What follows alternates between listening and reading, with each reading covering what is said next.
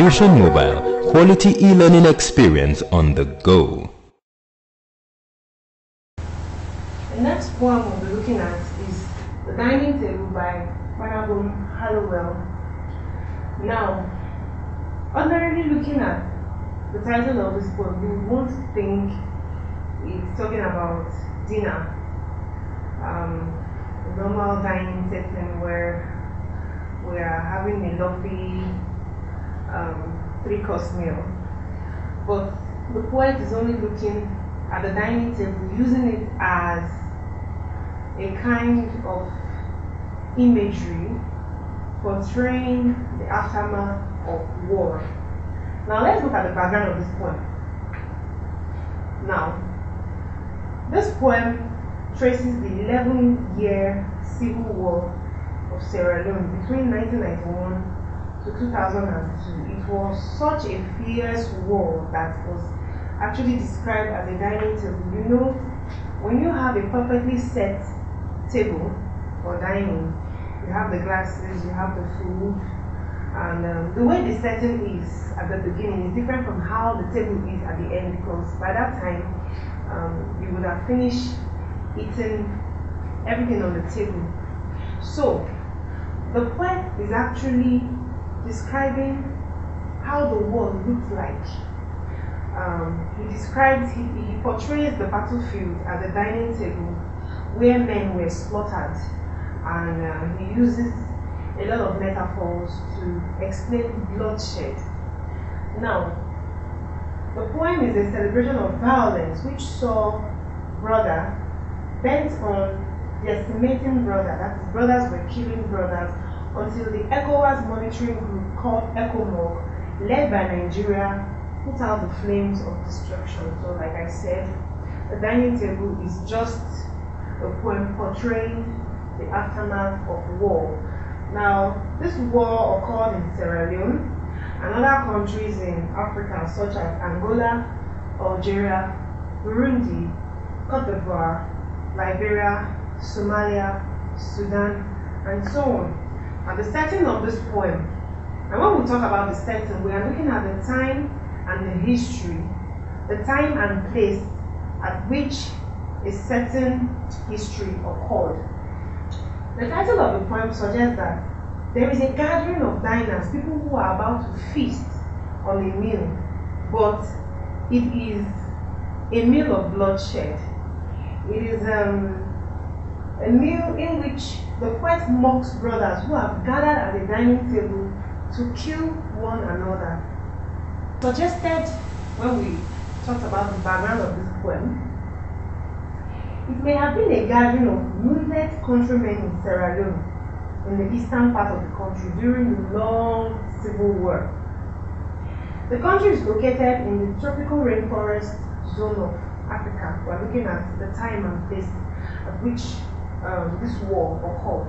The poet makes use of different metaphors, several metaphors, making references to things like vegetable blood, um, desert tongues, um, and guerrillas. Now, the subject matter and the summary of this poem. Now, the dining table is not a place where we have gathered to take drinks and to eat food. Rather, it portrays a place, it depicts a place where people have gathered to war, to fight. Like we said, it's a celebration of violence. However, people have come with gun wounds, with blood all over them. The pepper, which is strong enough to push up scorpions in our heads. Now, let me make reference to this poem. Let me read some lines in this poem for um, to give a, a, a, an illustration of what is what it's all about. The first line says, "Dinner comes tonight with gun wounds. Our desert tongues lick the vegetable blood, the pepper, strong enough to push scorpions off our heads. Let's look into the ocean bowls as vegetables die on their tongues. Now, the table separates the combatants from wicked leaders. Is, the table refers to the guerrillas. we are informed that there are also children who are who, who, who, who were also involved in this war. As at the time of the war, um, the people made use of child soldiers to fight their wars. And um, this was almost like plucking out their innocence. Innocence from imagine little children going to fight war. So this was plucking out their innocence. So now we look at the stanza by stanza analysis. Now, from line 1 to 6, the poet explains dinner as not a usual feast. It's a dinner of gun wounds, vegetable blood, pepper, and scorpions. Now you must note that the most predominant theme, sorry, the most predominant poetic device used here is a metaphor. Now this poem looks at it, it looks at a landscape devastated by spoliation that is brought about by war.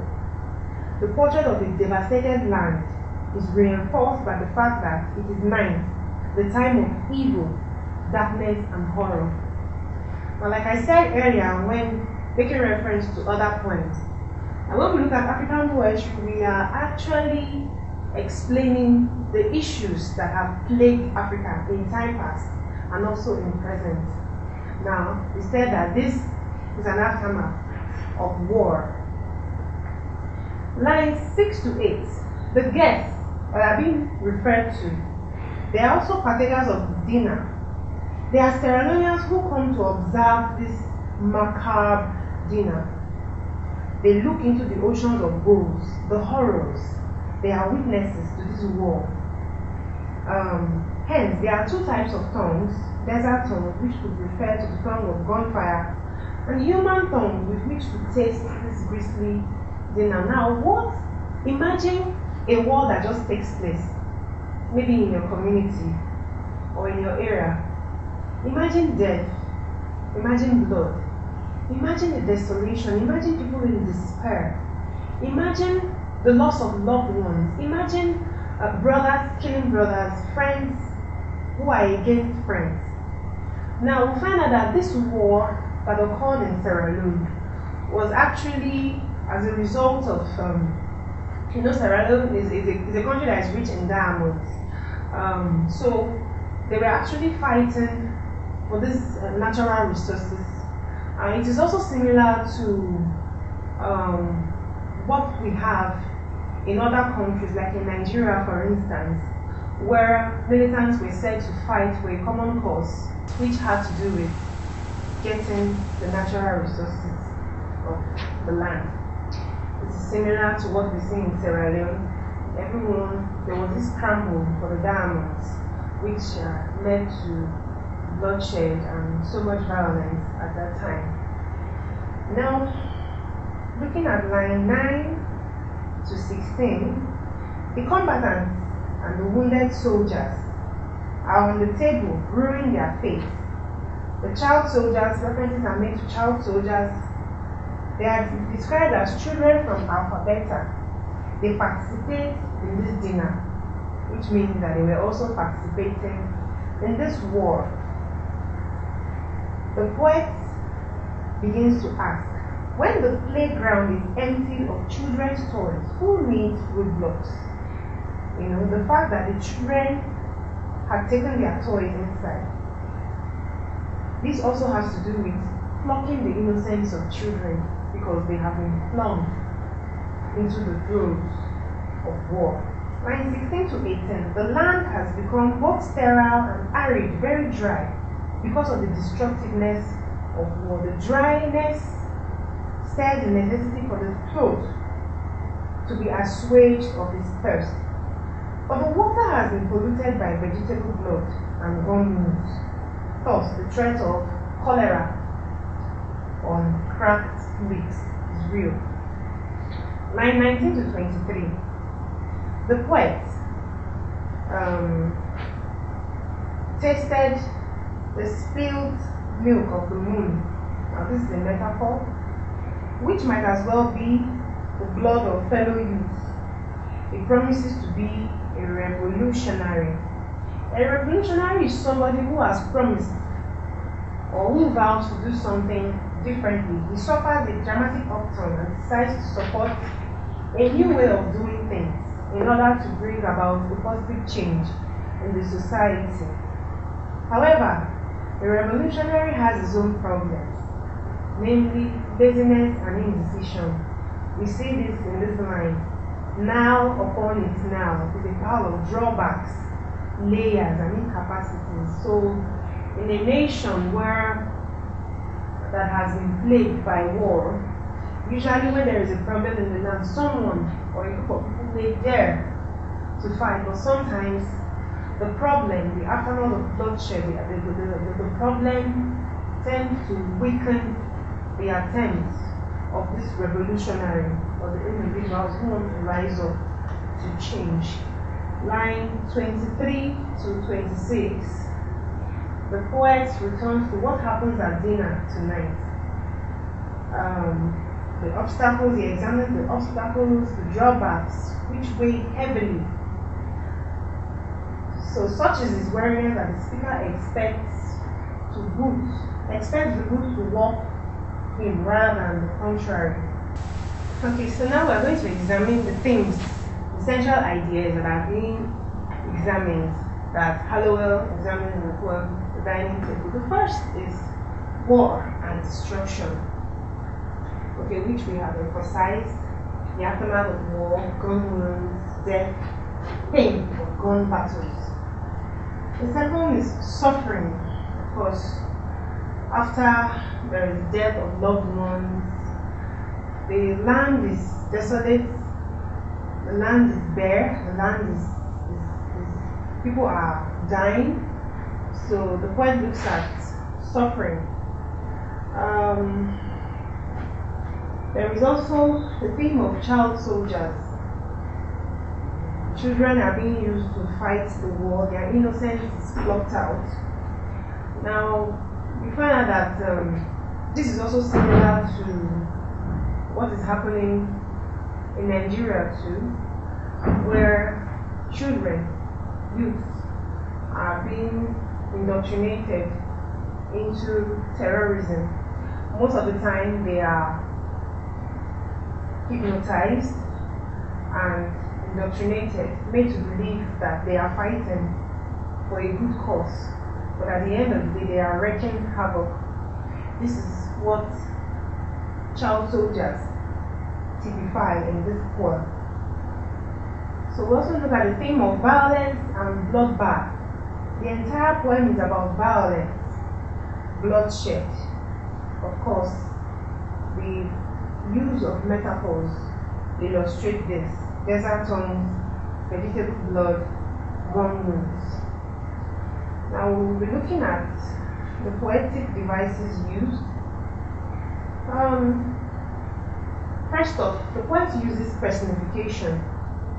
The first line says, Dinner comes tonight with gun wounds. Dinner is given the attributes of a human, as if it's a human, but dinner is an inanimate, abstract thing.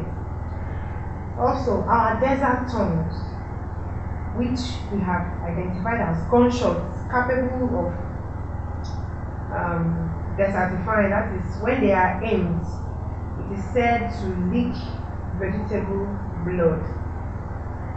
Alright, so we'll be looking at the poetic devices, the figures of speech used in this poem. Now, like I said earlier, the major poetic device that is being used in this poem is metaphor. Of course, the dining table itself is a metaphor which is a level ground, it's, it's, it's a direct comparison to a level ground, as is where a war takes place. They made reference to gorillas, crocodiles, switchblades, scorpions, gun wounds, vegetable blood. All these are metaphors. Another figure of speech or poetic device used is euphemism. It's a method by which the poet um, expresses an unpleasant situation um, using mild expressions. Um, for example, the expression dining table actually, you would think he is referring to a normal dinner, but he is referring to a battleground. There are other examples of euphemism that are found in the poem. The poet also makes use of the use of irony and mockery. The dining table itself is irony because the poem, the language used is ironical. One of the ways the poet achieves this is by placing contrasts. For example, placing dinner and gun together is ironical. The poet also uses dinner and tongues, vegetable, pepper, gun, and wounds. All these are portraying the use of irony and mockery. He often made reference to scorpions and where vegetables die. Now, all these are use of irony. Take note that some questions will be displayed on the screen so as to determine how much you've learned uh, in the class. Thank you.